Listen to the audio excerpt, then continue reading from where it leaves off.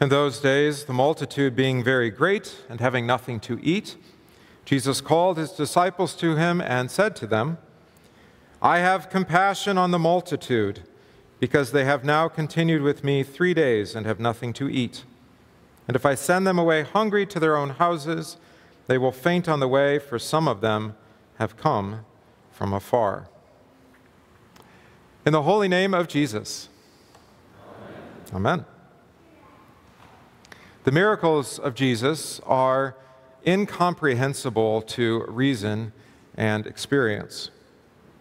No one can take seven loaves and a few small fish and feed some 4,000 households. It's really impossible and even absurd. And that's how the disciples responded. From Matthew's account, the disciples said to him, Where could we get enough bread in the wilderness to fill such a great multitude? Jesus doesn't follow the rules of nature or the economy of earthly life. In this world, it's always one for one, this for that. The appropriate amount of food for the appropriate amount of people. You only get what you put in. Matter cannot be created or destroyed. As a congregation of Christ Church, and as your pastor, I think it would be the most blessed problem Imagine if the Holy Spirit chose to gather to us thousands to hear God's word proclaimed here. What would we do? Would we whine and complain about how we don't have the means to accommodate so many coming to us? And no doubt we'd start crunching the numbers in despair of our church building, that it would be too small, or the parking lot, the streets, and the fields, not even being able to accommodate the number. And most definitely, we'd have nowhere near enough volunteers. It's not possible, you think, for the Spirit to do such a thing. We could never accomplish it. But such is the economy of the Christian church. I'm reminded of a small congregation in a suburb of Berlin. Maybe you know this story.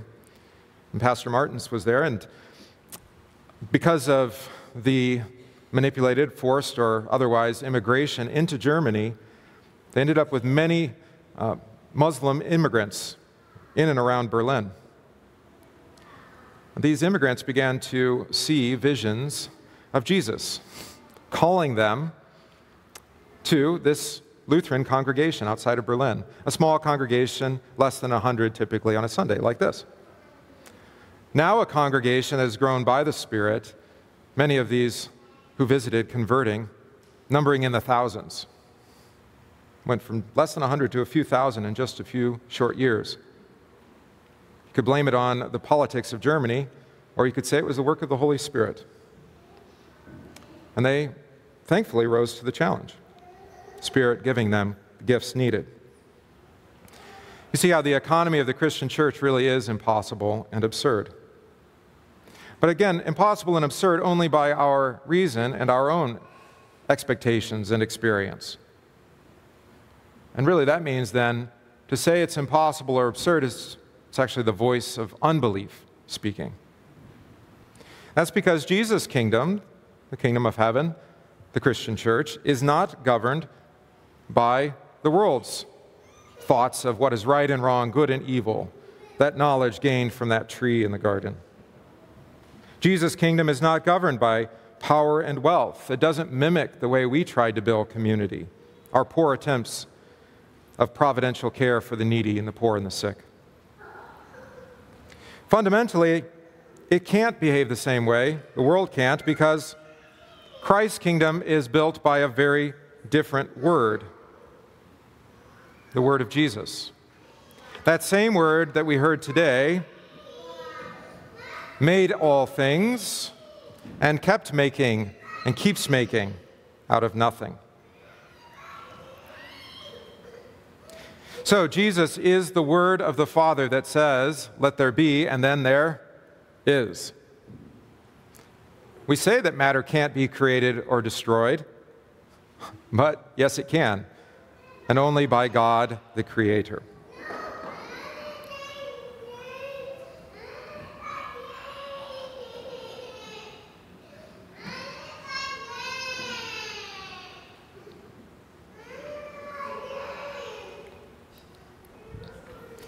So, little break.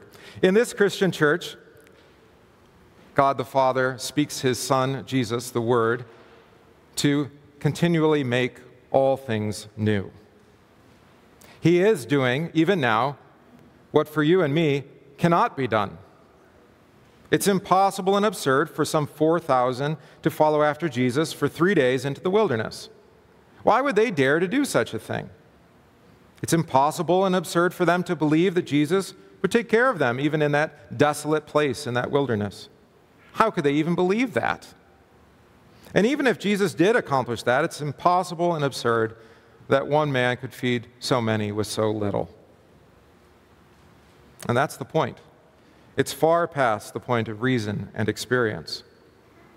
Again, the economy of the Christian church, Christ's kingdom, does not mimic the kingdoms of this world. Your King Jesus demands nothing of you, but gives you everything as a free gift of his goodness and mercy. Good luck finding another kingdom that behaves that way. The gospel shows us that Christ Jesus is a gracious and merciful benefactor, always eager to help and accompany and associate with everyone. And for this reason, the people were also eager to accompany him, to follow him, to observe and listen to him so that even their houses and the streets were emptied of people. Better to be in church. So wherever he turned, whether it was up the mountain or into the wilderness or over the sea, they followed. They were not bothered by the difficulty of the journey or how strenuous the hike was up the mountain or how perilous the waves and winds were upon the sea. In this world, the great, mighty, and rich are eager to avoid such thoughts about a multitude of poor people. Well, that's so you can have peace and quiet. But Christ Jesus does not do that. These are precisely who he cares for, he has compassion for. Jesus is even willing to have his peace robbed of him so that the poor will not be neglected concerning salvation. That's why to your family and friends and neighbors, all the time and effort and wealth that you spend to preserve God's word here and the gifts of his forgiveness, it seems to them an extraordinary waste. Your offering subsidy of a Lutheran day school makes no sense when you look at the numbers. The care and upkeep of this historic sanctuary, dedicated to really only one purpose the reception of God's word and sacraments, that doesn't make sense either. Why couldn't we just meet in the gymnasium and let the church building just rot away? Or even think about the way that they think of the hours you pray and confess and sing, daily living in the forgiveness of sins. Think about all the other ways you could use that time. And I could go on. It's all absurd. The amount of time, effort, and wealth that we seemingly squander on this congregation and on growing in the faith, it is absurd to reason and experience. But maybe we just think a little too small. Or rather, maybe we think that we are too small for God's effort. We don't dare God to give us more because we don't believe that He would then also give us what we would need. And so when He gives us little, we think God a miser. Why aren't there more people in church today? As if it's some judgment against us, too. If only we were doing the right things in the eyes of the kingdom of this world or in the eyes of our sinful flesh, then the multitudes will come out to the proverbial wilderness two miles north of Random Lake. But neither of those ideas are true. We're not to apply the worldly kingdom rules to Christ's kingdom. Christ Jesus will do what he desires when and where he pleases. The Spirit blows when and where he wills. But Jesus has given you promises. And Jesus promises his Spirit will call, gather, enlighten, and sanctify you and the whole Christian church on earth and keep you with him. And in this Christian church, he promises that he will daily and richly provide you with everything needed for faith and life forgiveness of sins, and daily bread. Yes, daily bread is given to everyone even without their prayers. Clearly, the 4,000 believe that. But we are given to see that everything we have been given is a gift from God, from His gracious, merciful hands. That's why we can say thanks regardless of what He gives, whether it is much, 4,000 households, or whether it's little, just seven loaves and a few fishes. Either way, we have His promises, and His word cannot fail. To reason and experience such faith is impossible and even absurd.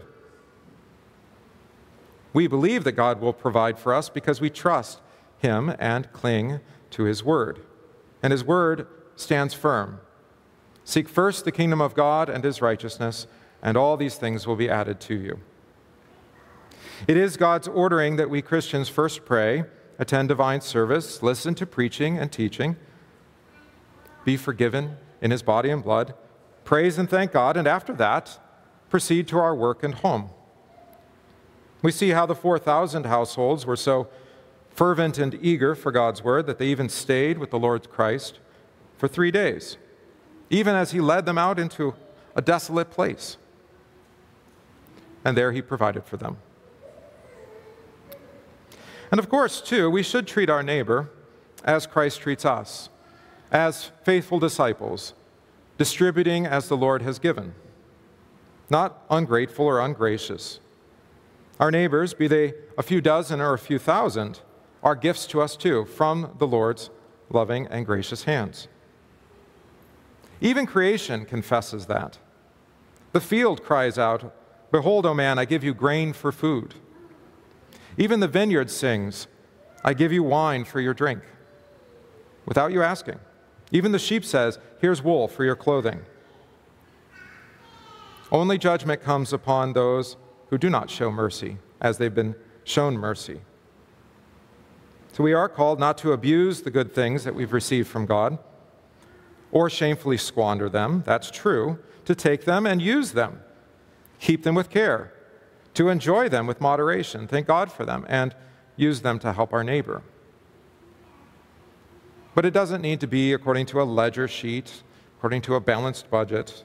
It doesn't have to make any economic sense but it's by love, according to need, trusting that the Lord will continue to provide for that need. If it does make economic sense to you, the mercy and mission work of the church, you're probably thinking about them all wrong. That's not how Christ's kingdom behaves. Even though God gives all things richly and sufficiently, our sinful hearts and the world tends to one of two extremes. Either it it keeps them so that no one can enjoy them, with the barns you'll hear about. Or it abuses and squanders them so that they're no good to anyone, wasting what God has given. Said we're called to be different, as the Spirit has given us to be. Said we're called to thank God for all his benefits, to be gracious and merciful toward our neighbor, to help him serve and counsel him, and to trust that God will continue to provide for that need. And Jesus promises us that we will hear these comforting words when he does come again. Come, you blessed of my Father, inherit the kingdom that is prepared for you from the beginning of the world. For whatever you did to these, my lowliest brethren, you did it unto me. And then we all will enter into the wedding feast, into eternal life. May God strengthen our faith and keep us with Jesus today and always. In his holy name. Amen.